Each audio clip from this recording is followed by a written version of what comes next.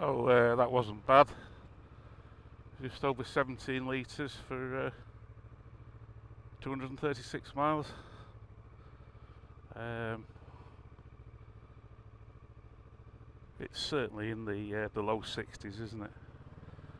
And that's where it kind of sits most of the time. Uh, just had a 500 mile trip up north, and uh, that trip uh, was 63 and a half miles to the gallon. And I don't hang about. I mean, I'm not going mental, but um, yeah, it's. Uh, pretty reasonable on fuel. So uh, the point of this update I suppose is to just let folks know I'm getting on with the bike. Um, I've done a few things to it to improve it I think and uh, I'm still enjoying it. I still think it's absolutely cracking uh, touring machine.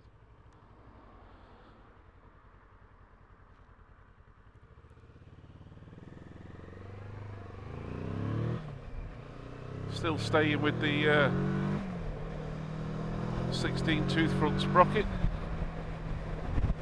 And um, much prefer that long term than the original gearing. For the type of riding I'm doing um, I'm not uh, so bothered about uh, fancy acceleration. I just enjoy uh, you know the the mid range the third and fourth gears are um, really really pleasing you know um, when you're touring along. And fourth will go from uh, 35 mile an hour to uh, near enough 100 so uh, I just like the long leggedness of it all. So what have I done? Um, I had a go at chopping the seat up. Um, I'm tall, I'm six foot one, six foot two, quite long legs. And I, I blagged a Sargent seat off eBay um, for not a lot of money to be honest, and I was really pleased. Um, but unfortunately, it really didn't do a lot, you know, for the taller people to uh, improve the uh, the seat height and the comfort. So uh, thought, sod it. I watched a lot of YouTube stuff, had a go myself, bought some foam, some Evo-Stik, a lucky carving knife, and uh, a big uh, emery cloth grinding disc and set to. Um, beauty of it was I could uh, you know, wrap it in cling film, take it out, try it, take a bit more off, take it out, try it, and um,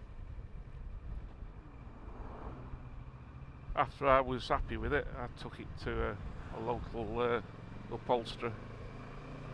Charged me seventy pounds for the cover, and uh, that's much improved. So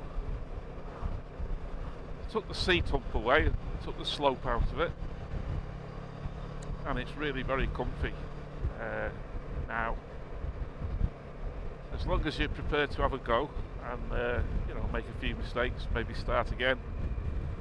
Um, it's not that difficult to do, as long as you know someone who'll you know do the cover. Because I'm no seamstress when it comes to stuff like that. So the seat has been. Uh,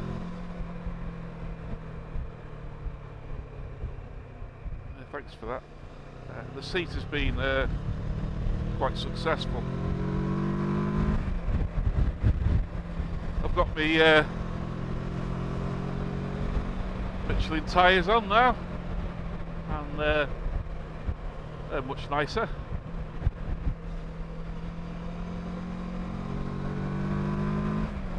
Again, I just keep, you know, rolling along, shifting around six,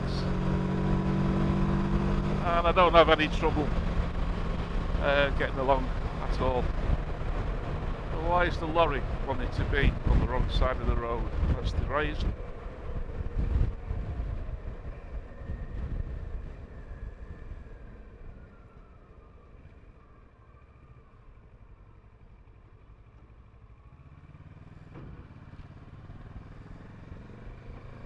Yeah, so uh,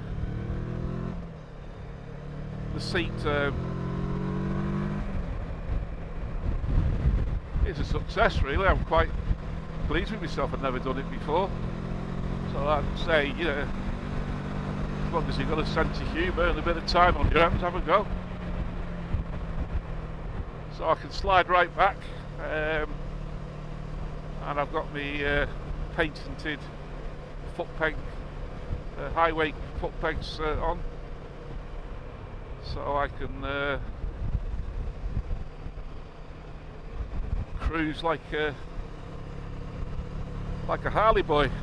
So probably just see him down there. I'll put a picture up. Put my legs out. And just cruise. They're really good.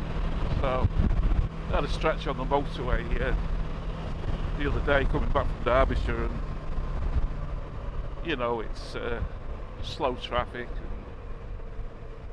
and um, a bit tedious as you know.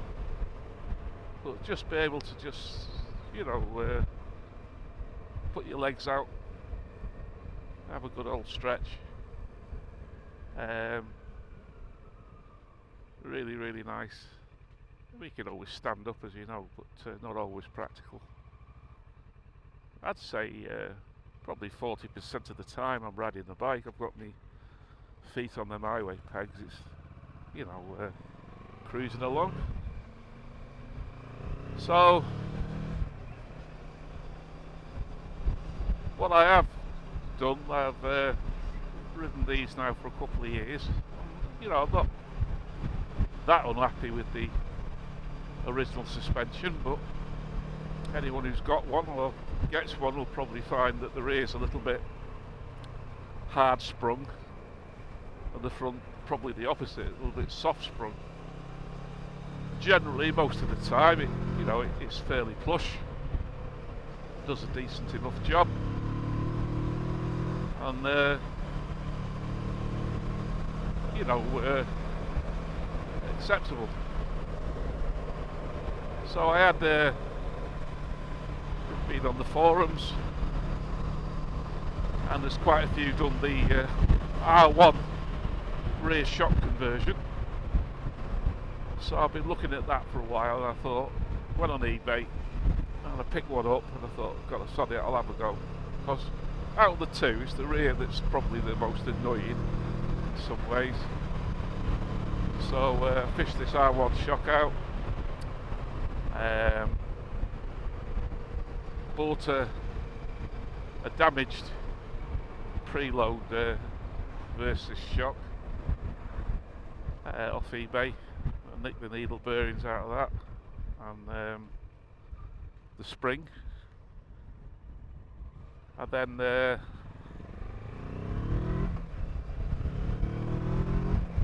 got the shock uh, bored out. Take the uh, Versys collars and uh, shoved it on and unfortunately um, it wasn't right. Um, I think probably because I'm such a big unit got the pannies on all the time toolkit uh, engine bars centre stand. And I'm not, I'm not light I'm 17 stone. Um, it just uh, didn't work out. So, you know, so my next move, I, I suppose, was take the R1 shock and um, get it serviced and maybe uh, stiffen up the uh, rebound and compression. Well, that'd be around 200 quid. Um, I was already 130 quid in, and it's 14 year old. So I decided that I'd cut my losses, call it quits, and try a, a YSS, which I've used on um, the CRF 300s. And uh, I bought one of them. A little bit worried it might be oversprung because this this spring is stiff, you know, on the original shock and um, the YSS is actually a 180 the OE is a 160 uh, newton meter what the uh, internet wisdom says. But um, anyway it worked out. So unlike the original shock you know uh, you can't really back the preload off any further than the collar allows so it's, it's fairly stiff and can't back it off whereas the YSS has got plenty of adjustment to uh, go either way.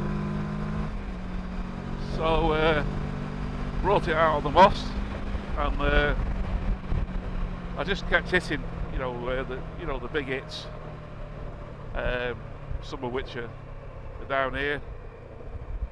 And uh, all I did was on each run was back the preload off one until I could provoke it to bottom out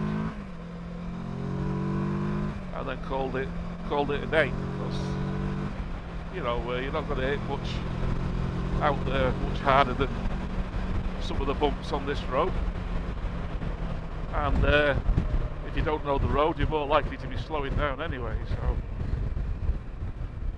anyway, cutting to the quick. After uh, doing that, what I decided was that the uh, softer preload and the rebound control uh, had to go further than I thought.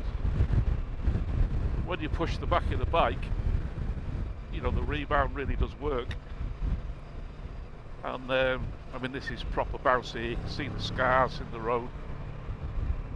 And this is where it scores because the rebound now so they're getting that bouncy sort of uh, wallow and um, you know the uh, wanted to catapult you out your seat uh, a little bit.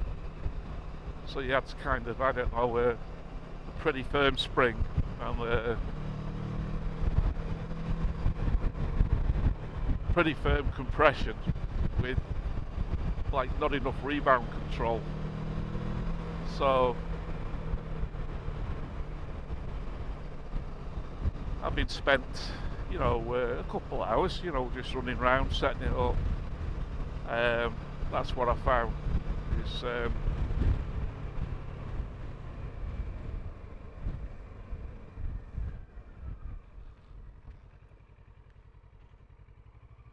So the way I set it up um, was to run these kind of roads. You know, find all the horrible bits like this. And there's some big bumps on here. And then uh, you know, running them pretty hard because these are bumpy. See, they're just want it to bottom out there, but not quite. And I do want it to bottom out, you know, maybe once, so that it uses, you know, all the travel. This is a big hit. all the travel. Um,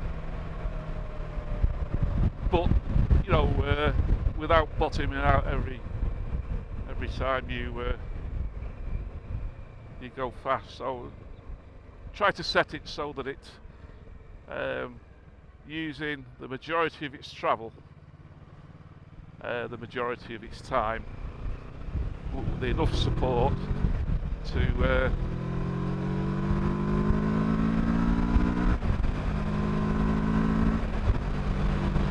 enough support to uh, you know keep it uh, getting out of hand on the bump stop. So having done that, it was then a matter of uh, trying to set the rebound on the thing and to control all this luggage and weight I've got toolkit there and you know stuff in the panniers I'm carrying probably 12 to 15 kilograms permanently on the back of there. Then you've got me um, as I say big unit. And the accessories weigh quite a bit especially the centre stand. So the rebound I ended up at uh, 7 from full hard and it works really really well. It really does keep you know the whole the back end in check. And um, it also stops the patter you know when um, you're going over this choppy stuff. Like this stuff here. It just stops the patter. And it's a much much more compliant shock absorber. So all in all um, that's uh, really has sort of uh, done well um, I never had such a big issue with the front. I just knew it was soft, and I kind of liked it soft. Um, and I know it's soft. They, they were kind of just mismatched a little, and uh, it's only when you provoke them, you know, you. Uh, got a little bit out of hand. I mean, the uh,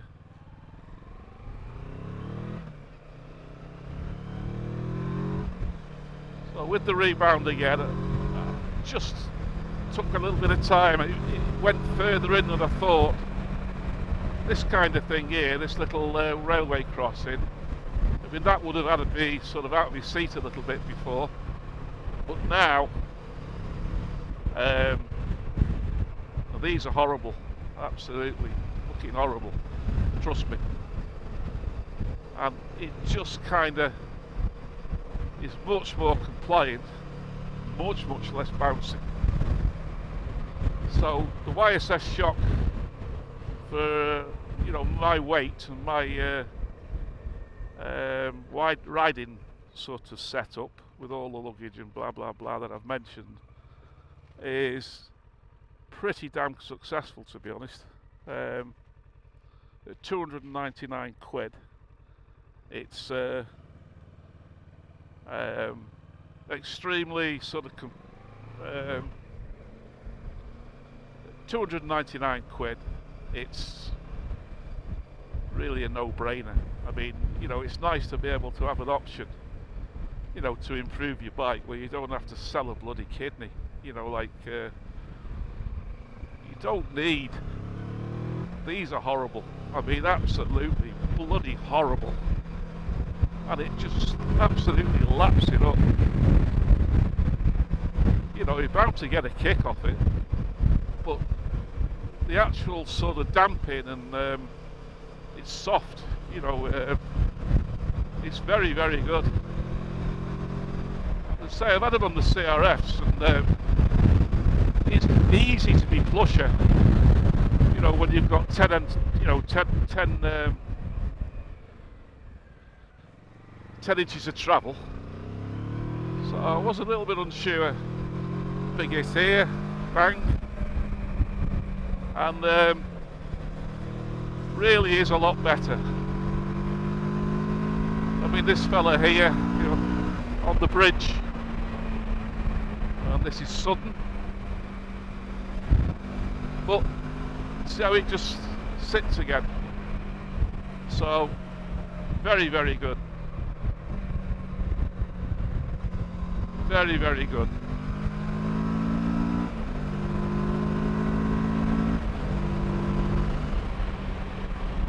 Another big hiss here. This one again will kick me out of my seat, but it hasn't. And another one here. You get the idea. This is a bumpy old road. Uh, the video, as usual, you know, doesn't tell you. Um, it doesn't tell you, you know, uh, how big them hits are. So uh, YSS, uh, 299 quid, 180 newton speed of spring, standard spring on it, and uh, I'd recommend it to anybody. I just think um, once you've got it set up, once you've figured it out, um, again, you know, more normal speeds, you know, 30 mile an hour. This is horrible, horrible stuff. This, and you can tell by the front screen that you know it's kicking, but it's much, much, much, much, much more compliant. Just take these two horrible holes in the middle. And uh, the improvement is uh, um, really nice. It's a marked improvement. So there's uh, a bit of uh, confusion when ordering these. There's a 295 and a 300. Um, this is, uh, I believe, the same from 15 to 23.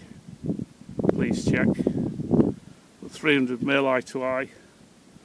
I think that's 32 mil and a 30 or the other way around I can't remember now. But the 30 32 and 30 mil bushings 12 mil eyes. Um, I'll put the uh, code of this shock up. Well, this is a 300 mil original shock on here. The one with the hydraulic preload. And um, this one fits and works well. You can probably see um, I've actually gone three rings back from the factory setting here. Um, and that suggests you know that um, you know we're in the zone. One thing you notice is that um, even on the side stand if you do this on the original shock there's hardly any movement but you can see there's much more compliance there in the first part of the stroke. And um, it feels like that on the road um, anyway, uh, I just thought I'd uh, let you know what I've put on in case um, anyone's thinking of doing the same. Um, that's it really. Front forks are uh, nothing to see. Um, the uh, spring is easily replaced if you get hold of that um, tool or make your own from the lorry nut.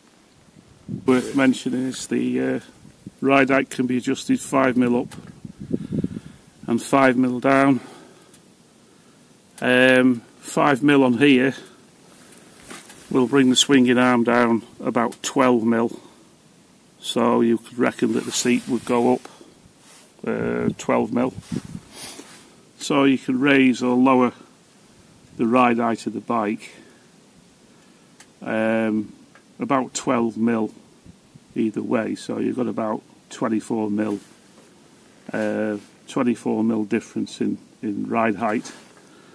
Um, I tried jacking it up found it uh, made it just a tiny bit too tall for me. So I put it back to the original 300 I was a bit worried the spring would be too soft but um, it isn't so uh, I'll put it back to uh, the 300 mil centre.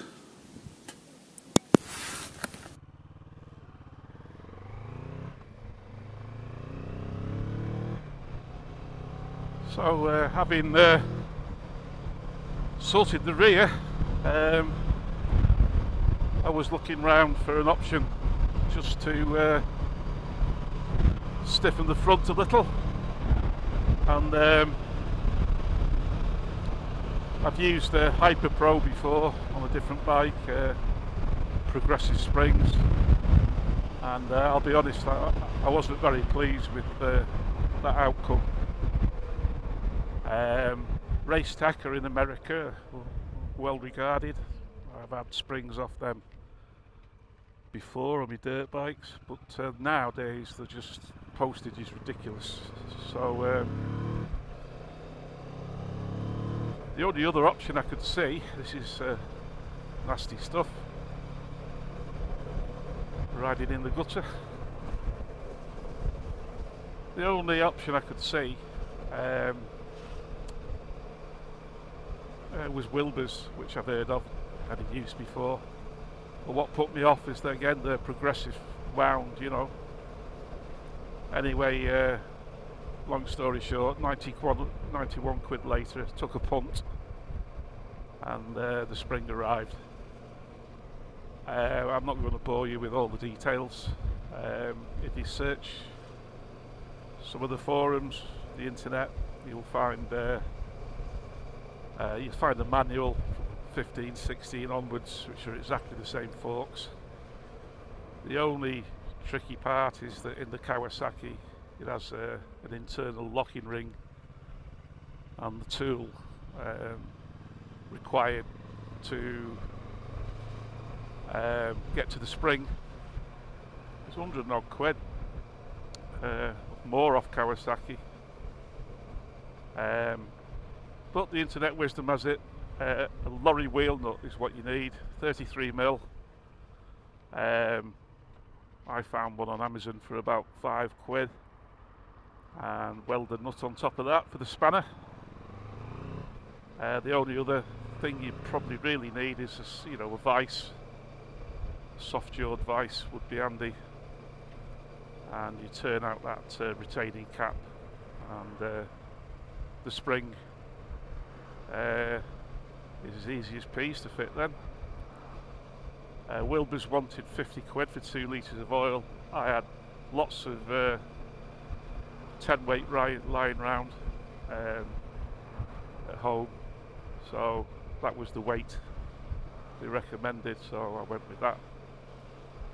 I did uh, the right leg as well. I, what I mean by that I just changed the oil to match.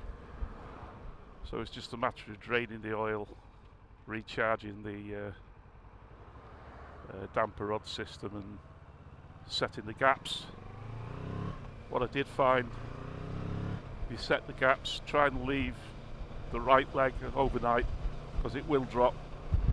And in my case it dropped uh, 25 mil. So it's worth being patient you know uh, when you change the oil. Uh, anyway um, got the thing in and I wasn't really looking forward to the test ride so much because uh, after the Hyper Pro um, debacle. Um, the expectations weren't particularly high. I was just having a go kind of thing. And uh, surprisingly, um, we seem to have found a pretty good winding on this spring. It is progressive. It's not as aggressive as um, as the uh, uh, Hyper Pro were and it's a single spring but anyway whatever it, it is it, it works it's, it's, substantially better um, what I mean by that is that I never really minded the soft suspension too much you know on the original I quite like the plushness of it and it was never my biggest niggle that the rear was but um, you know, if you hit a, something sharp edged, you know, a, a fair lick, you know, uh, it was blowing a little bit too easily through the stroke, and soft then became a little bit harsh. And this stuff here is uh, pretty horrible, to be honest. But what happens is, uh, what's pleasing about these is they uh, support the bike much better on those big hits, but still retain that sort of OE plushness, you know. Um, so, you know, uh, I was pretty surprised by um, the outcome of that because, uh, as I say previously, um, obviously it could be different uh, valving in the forks and that on the other bike, Varadero it was, uh, more basic uh, forks, but you know, once bitten, twice shy, isn't it? Um, but yeah, very good. Um, the compliance is uh, equally as good as the uh, original um, spring, and it's the same deal really as um, setting up the rear shock. Um, hit it hard on some of the, the boss roads and um, try and provoke it to you know bottom out but the rebound spring on these is pretty good so you don't usually bottom out you know with with a big thud. So just using a zip tie. Um, was probably the best way. And uh, anyway long story short I ended up you know bearing in mind my weight and all the rest of it I've mentioned. I ended up at only six um, I ended up only six um, in from full soft which is about to be honest Kawasaki's uh, standard setting on the OE forks. And the same deal again because I've got a progressive sort of um, uh, stronger spring overall particularly you know when it's worked hard that's increased the, the uh, rebound quite a lot and I'm just um, about three quarters of a turn out from full hard on this now and similar to the uh, the rear um, the result has been pretty damn good. Where you really notice it a lot is when you brake. Um, um, when you're going faster, you know, it hits a sharp edge in that, it holds up better, it doesn't blow through quite as quick. And probably the most noticeable part is when you uh, brake. So for instance, like find somewhere to put the brakes on, it will squat, like now, squat, but it just holds. Whereas it went along a longer way before. But um, it just holds the front up and it definitely is an improvement when you're braking. So what is good is that uh, it doesn't blow the whole thing through the stroke. So it's a big hit.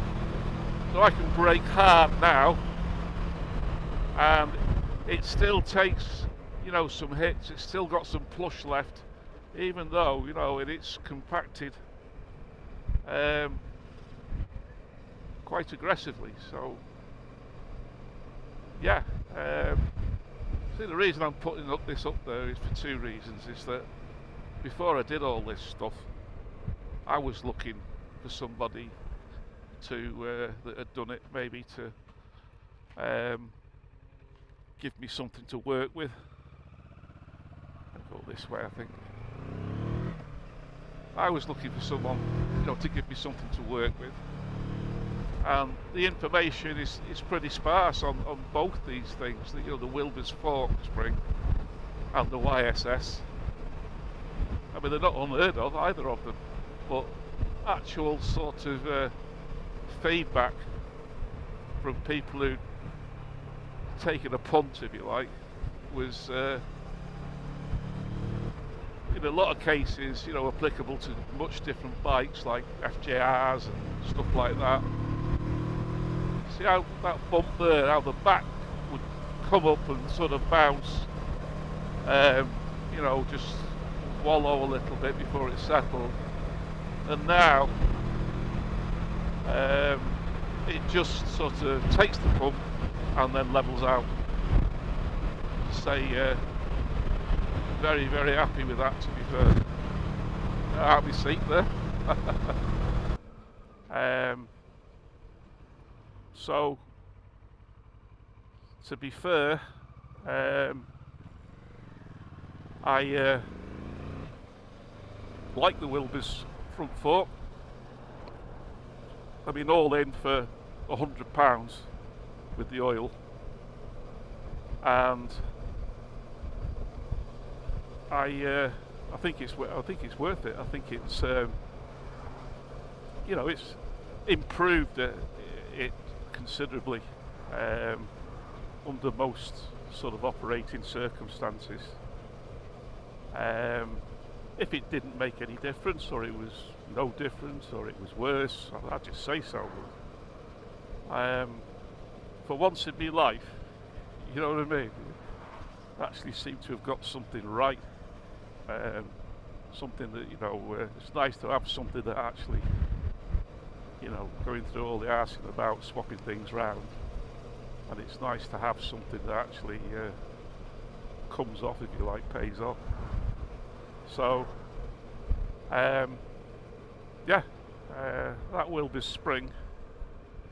There's no rate as such because it's progressive. And if you try and set the sag traditionally, you know, for the 30% or whatever it is, and you crank the preload up, because of the way the spring's wound, it doesn't really um, make a big difference you know, to the ride height on the fork. Um, so the best way, you know, to go in about it is, like I say, bounce it until you you think um, you've got the minimum preload you can get away with, and then set the rebound, and that's uh, that's worked for me. Um, so that's it really. Uh, would I do it again? Both ends? Yes I would.